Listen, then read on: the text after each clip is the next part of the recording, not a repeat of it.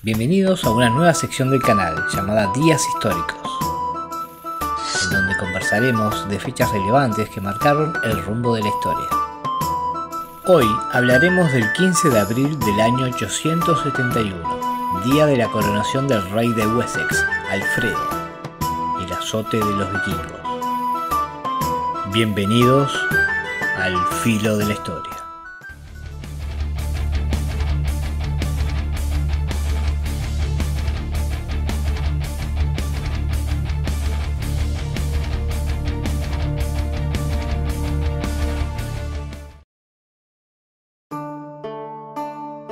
Alfredo, personaje histórico conocido por series como Vikings of the Last Kingdom, subió al trono el 15 de abril del año 871, justo cuando el reino de Wessex, al sur de Inglaterra, era atacado por un ejército vikingo danés.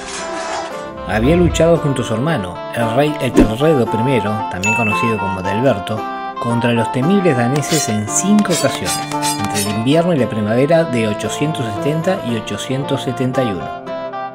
Pero el 15 de abril del 871, en una de esas batallas, Ethelredo decidió parar de pecho una hacha danesa, con el resultado algo previsible de su muerte.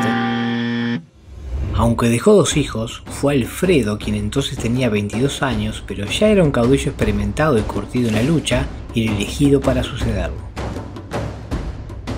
En los meses que siguieron, Alfredo libró nueve batallas más contra los vikingos, antes de que estos desviaran su atención al vecino reino de Mercia, sin duda disuadidos por la fiereza de la resistencia de Alfredo. Pasarían cinco años antes de que los vikingos volvieran a Wessex. En el año 876, un nuevo ejército vikingo invadió nuevamente Wessex, esta vez bajo el liderazgo del rey Guthrum. Tras duros combates y una última batalla en el año 878, el incansable Alfredo lograría finalmente someter al ejército invasor, extendiendo su fama por toda Inglaterra. Alfredo, nacido en 849, era el quinto hijo y el más joven del rey Ethelwolfo de Wessex. El reino acababa de consolidar su poder sobre la totalidad de Inglaterra al sur del río Támesis, desde Cornwallis en el oeste hasta Kent en el sudeste. Dado que tenía cuatro hermanos mayores, seguramente no parecía muy probable que llegara a ser rey, pero la educación que recibió fue la adecuada a su real cuna y demuestra las estrechas relaciones entre la Inglaterra anglosajona y el continente en aquella época. Hizo dos visitas a Roma, en 835 y 855, que en parte se pueden ver en la serie Vikings. Y mientras estaba allí, descubrió otra manera de brindar un legado para la posteridad tradujo el libro de la regla pastoral de Gregorio Magno y la consolación de la filosofía de Boecio, obras de gran valor histórico. También recibió formación militar, que le sería muy útil en sus batallas contra los daneses.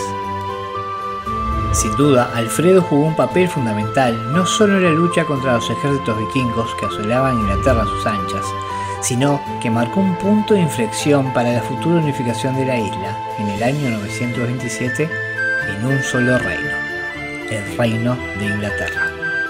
Sin más, me despido. No olvides que tu like ayuda a difundir el video, suscríbete si aún no lo estás y recuerda que siempre estamos al filo de la historia.